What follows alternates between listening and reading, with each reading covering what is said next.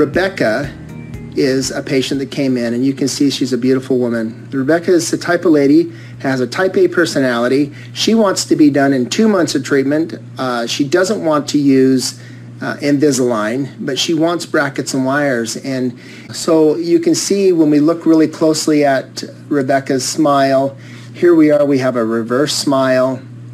Um, she is mildly crowded, slightly narrow arch forms, midline slightly off, and might be a little bit hard to show here, but you can see there's some composite that has closed some spaces between her upper ones.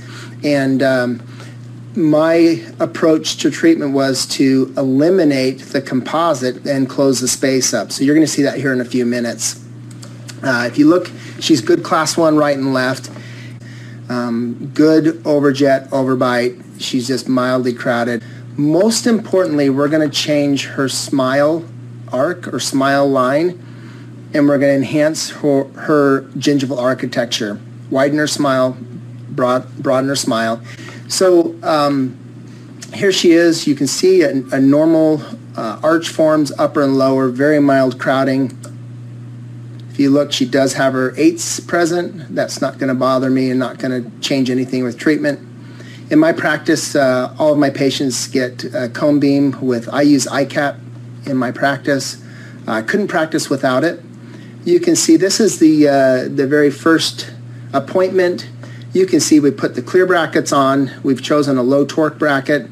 I've uh, begin to take off the composite that was on her ones. That was there just to close up spaces from before when she didn't want braces. My protocol, again, I told you I didn't have a protocol. What I decided to do was to see her back in three weeks. So I started with 016 copper NiTi. Three weeks later, I bring her back in, and, and you'll see that here in a few minutes. But as you look closely here, you can notice that uh, you know I'm using good self-ligating mechanics, and I'm positioning the brackets so that I don't, um, you know, have any inefficiency in, in ruining that good class one occlusion. So you can see the torques I've picked. We've gotten, we've eliminated the composite. She comes back in. At two and a half months, we're doing our pano reposition visit. So about every three to four weeks, I'm bringing her back. At two and a half months, we reposition just the upper left one. I've placed 1825s in the upper and the lower, 1825 copper NiTi and um, I'm closing space. I have power chain under the wire. We're closing space. Again, seeing her back about every three to four weeks and uh, maintaining a good class one with my bracket positioning. Upper arch form, lower arch form, maintaining a beautiful arch form. Here she is. You can see the smile starting to change. Again, she's faithful. 20 minutes a day is what she's using for AcceleDent. 20 minutes a day and uh, getting our benefit.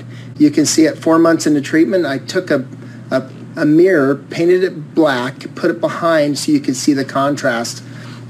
And uh, you can see that we have a few bracket position errors. We're going to fix that. Four months of treatment, good, maintaining good class one, changing the smile arc. You can see what's happening with her smile.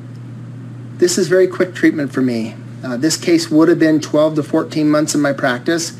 At five months, I've placed my finishing wires, 1925 TMA in the upper, 1725 TMA in the lower. I'm just detailing at this point of treatment time.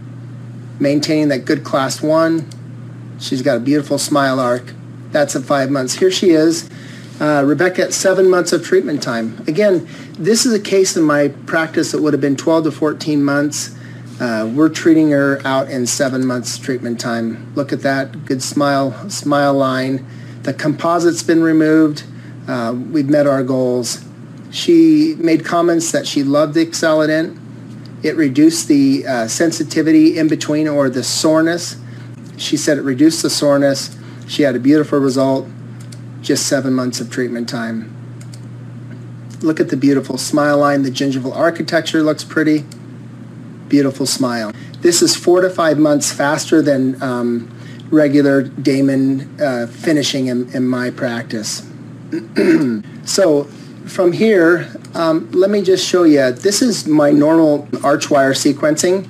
I start with 014 copper NiTi most of the time, and we go to 018, 1425, 1825, and do our pano reposition visit and our finishing wire.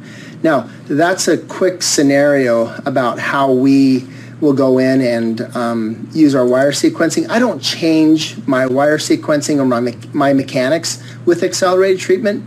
What I'm changing is treatment times in between. This gives you a little bit of, this is from my, my friend Dr. John Graham, who practices in Salt Lake City, one of the, um, in my opinion, one of the best orthodontists in the world, who, with myself, we've been um, trying to be on the forefront of accelerated treatment.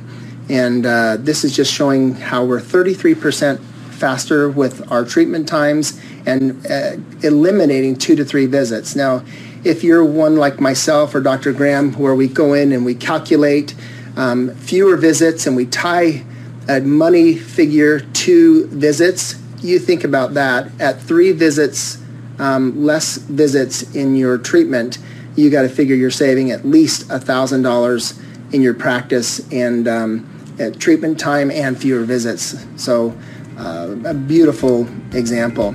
This is a patient